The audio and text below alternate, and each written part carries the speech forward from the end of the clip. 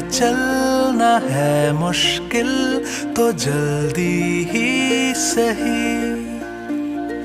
आँखों के किनारों में बहाने ही सही।